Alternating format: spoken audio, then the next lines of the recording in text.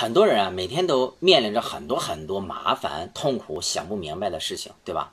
你看啊，前一段时间很多人买了我的教材，然后呢，有几个女孩子啊就说说啊啊，我以前啊不懂，然后我现在呢也想不明白我是谁，我如何能够做好自己的职业规划，甚至我都无法写出自己的一个简历、价值标签啊、呃新零售啊、自媒体运营啊，好多好多不懂的东西啊。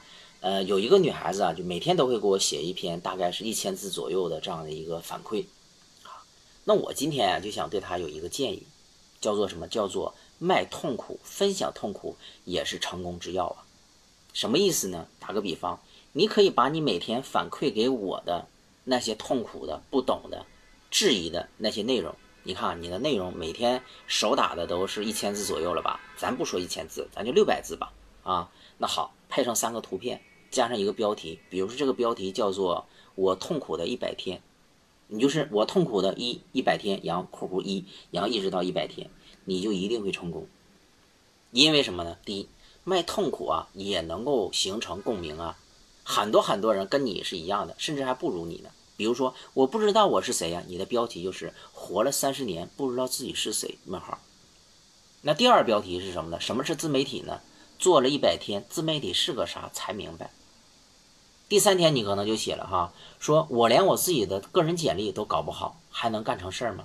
第四天你可能就写了，哇，原来社交化电商是要做好几件事情。你看，你每天给我写那些东西，就已经变个标题，就变成一个作品了。第一，能够吸引大量的粉丝，大量跟你一样的吧？你相当于什么？相当于是以弱制强啊。红鹤呢，可能给人感觉是以强制弱，因为大家都在听我的东西嘛，想从我身上了解一些有价值、有些思想，他会博变你。但是你要从什么？从弱变强，其实什么呢？是很容易的。比如说你今天分享这个东西，很多人就会给你什么，给你点播的啊，说妹子啊，你你你这个是谁？你应该从你的兴趣和爱好，你看大量的人会给你回复，大量的人会给你沟通啊，你这个新零售啊，我认为他给你什么出谋划策，这也是一个手段呀。是吧？那第二个是什么呢？第二个是把你的痛苦、把你的不知道、把你想不好的东西全部记录、全部分享出来，是一种人生的经历啊。人生没有记录、没有经历，那你说有过开始吗？就不可能有开始的呀，是不是？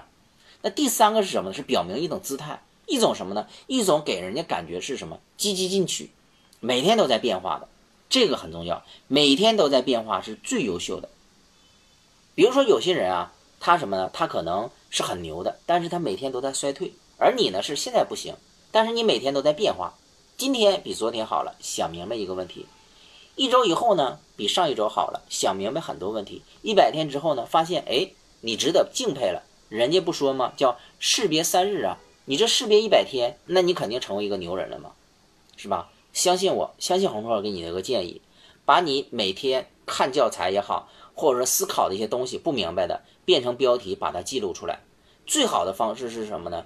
是把它写出来变成文章，然后呢再把这个文章变成像今天我一样的短视频。你们每天一天一天的看教材，会有大量大量的问题出现，对吧？每天都会有大量的问题，然后教材，然后后面还有一个小节和指导。好了，把这些东西全部变成短视频，变成短视频就是你那个结果。你有本事把它变成文字，变成短视频。那就是什么收获，全部在你脑子里呢。说你现在每天看教材，每天都写写画画的，那什么，那是库存转移，还是我的啊？所以呢，今天我特意的分享这段短视频，送给我所有所有的那些哈，那些算是学员的吧啊，因为有了我的教材嘛哈，那就尊称我一声老师啊。然后你每天按照我这种方式，你就一定会进步。然后呢，保持好自己的心态，不要太急躁啊，一点一点的，饭是一口一口吃的。当一百天以后，当有两个一百天以后，你们一定会成功的。谢谢啊。